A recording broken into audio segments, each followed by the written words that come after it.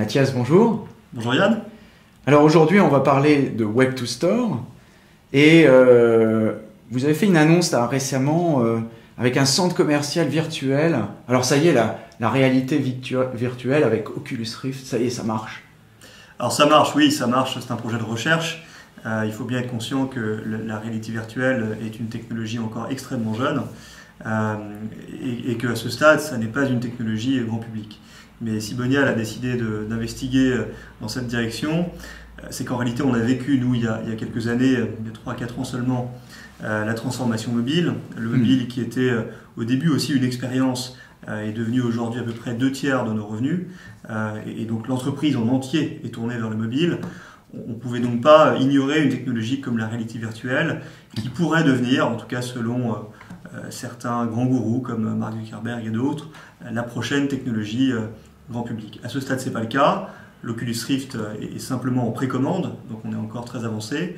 Mais euh, pour nous, c'est important d'apprendre, euh, d'être les premiers à maîtriser cette technologie pour être prêt. Alors, on va en faire quoi de cette, euh, cette vision 3D 360 Ça va servir un peu comme Dior dans ses magasins avec l'expérimentation Digitas. Hein, oui, alors aujourd'hui, la Bonial permet en fait de se promener dans des showrooms virtuels on a en fait un peu essayé de reproduire ce que, ce que Bonial fait sur son application mobile, à savoir réunir sur une sorte de place de marché des catalogues les offres et les promotions des distributeurs mm. de distribution alimentaire ou spécialisée. Et bien là, dans la réalité virtuelle, euh, c'est un peu similaire. On se promène dans différents showrooms et on peut découvrir les offres et les promotions de différents distributeurs de manière virtuelle.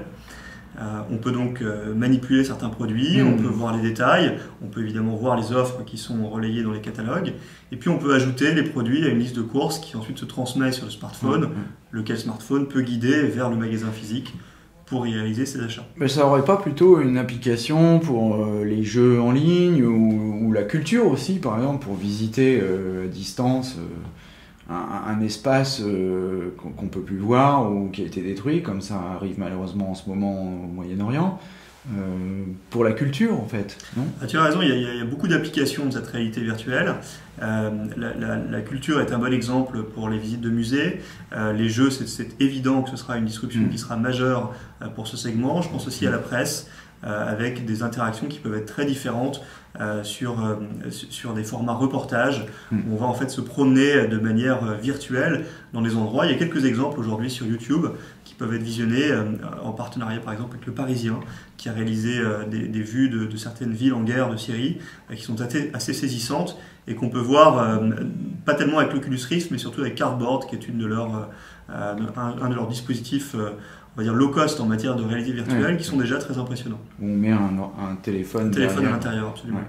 J'ai vu ça marcher à l'école de euh, commerce de Grenoble. Alors, euh, vous avez euh, cette mesure du ROI par géofencing. Vas-y, explique-nous ça. Ça, a l'air assez complexe.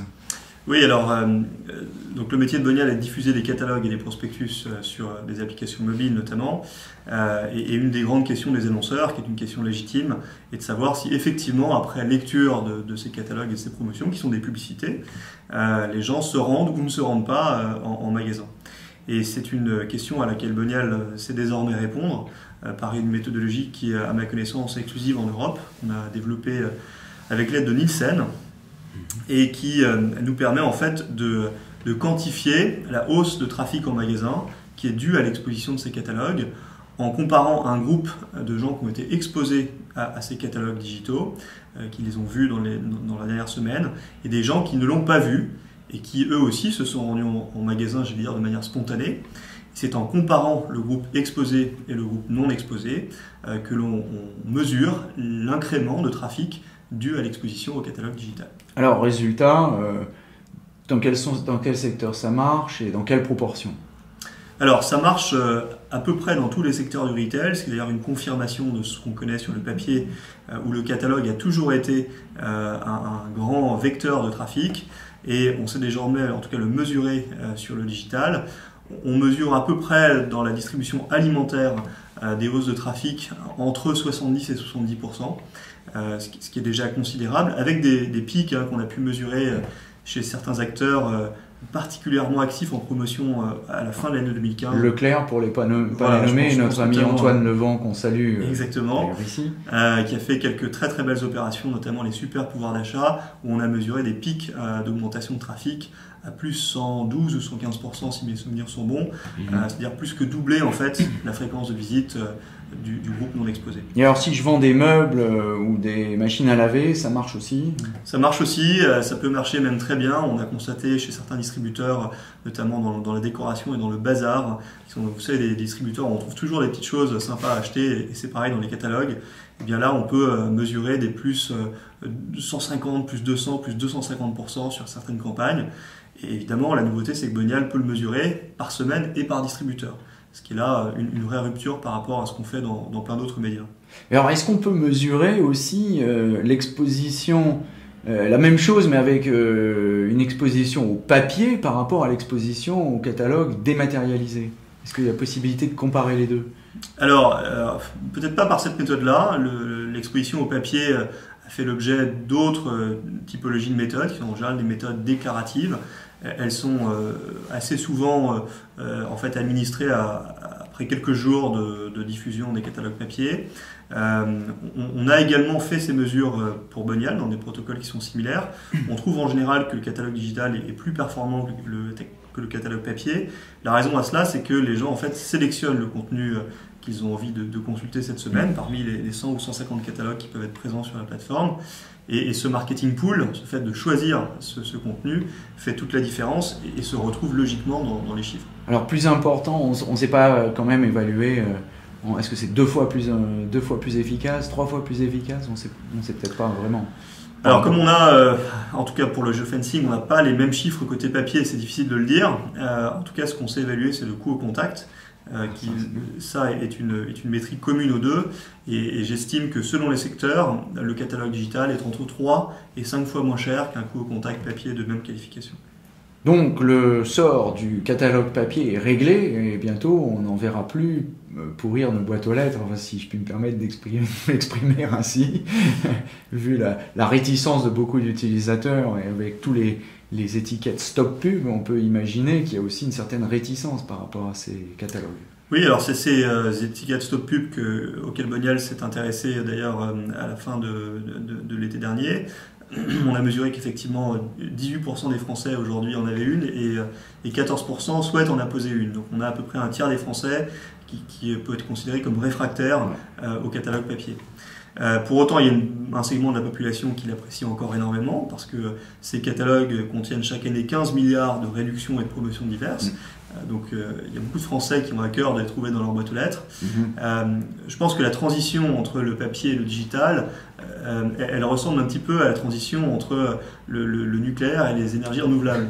On aimerait bien faire que des, des énergies renouvelables, c'est souhaitable, mm. c'est plus efficace, c'est moins cher aussi, mais c'est pas possible tout de suite. Euh, parce que la centrale nucléaire, elle fournit encore euh, une puissance importante euh, pour, pour les opérations. Donc cette transition, elle s'engage sur le long terme et normalement le marketing pool, qui est celui du catalogue digital, doit progressivement prendre le pas sur le marketing push, qui est celui du papier.